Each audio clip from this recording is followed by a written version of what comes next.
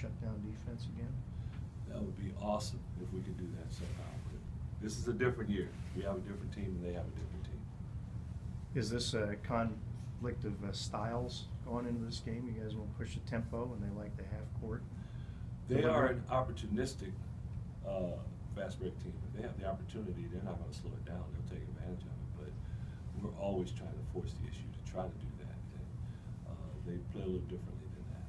Box out, and they have a ton of offensive rebounders? You have to box out. Yeah. Because, uh, those guys are relentless on the boards and they, their starting lineup right now, the smallest guy is six four, then they're six six, and then they're six eight, and six nine. They're very long, athletic, and ferocious on those offensive boards. Do you get the sense your team's invested in the NIT now after that first one out of the way? Yeah, I think so.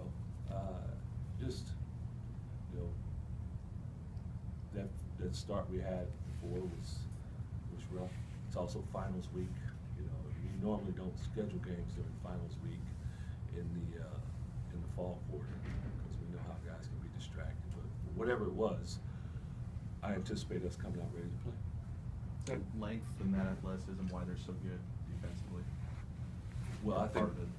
I think they do a good job in fundamentally in their defensive scheme. Uh, I think that, uh, the way they recruit, oftentimes we're in gyms and they're recruiting, uh, the same guy because they like that length and that athleticism. And, you know, a guy like Winston Shepard, he's been playing that system now four years. Uh, Skylar Spencer, he's their all-time lead block shot leader. Uh, he's been in that system for four years. They've got some guys that have been in that system and have played that defense, and they know it like the back of their hand. And that, that makes them do pretty. That makes them really good defensively.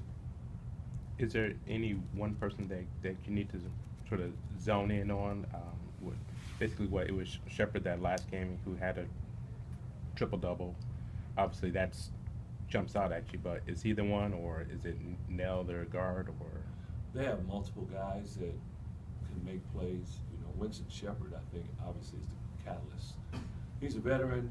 He's a guy that uh, makes big plays for them glass, on defense, on offense. Uh, Trey Kell is an outstanding guard. Uh, he can really play the game. Uh, Jeremy Hemsley was the freshman of the year in the Mountain West. And he's a freshman now. He's now coming off the bench, but they, uh, they have a number of players that are capable of making baskets. And uh, is this the, the type of game where they only allow 60 points per game? So do you try to mm. just get better in the half court, or do you just try to outscore them? I mean, obviously the goal is to outscore them, but, but do you try to force that tempo?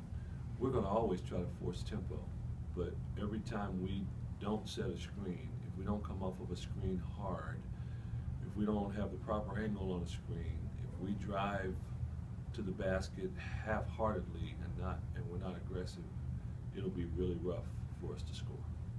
We have to make sure that, uh, we're efficient on offense.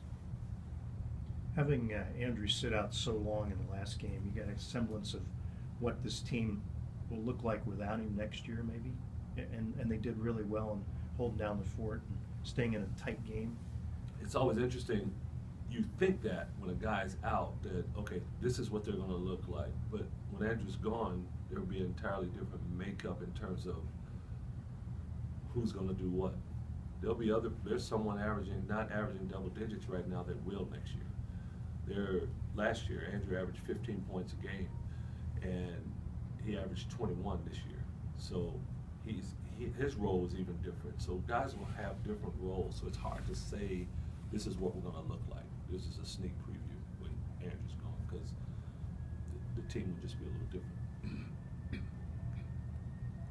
Do you remember much from the last time that you guys played there, and just how tough of a place is is uh, that? They've done quite well for a long, long time. Uh, I don't know the exact numbers. You might know, Ashley, but I think they've only lost 12 games in the last double-digit years plus, whatever it is. They just don't lose there. Uh, I think they had a streak at one time when they were up at halftime. They had won 30 straight games something like that. Leaving with five minutes left, they had won like 160 something games. Okay, with five minutes to go. Yeah. So They just, That's pretty good.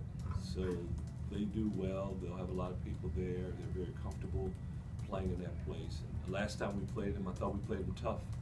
Uh, they pulled away at the end, but I thought we played them tough. We had a chance till the last two minutes of the game. Anything else, guys?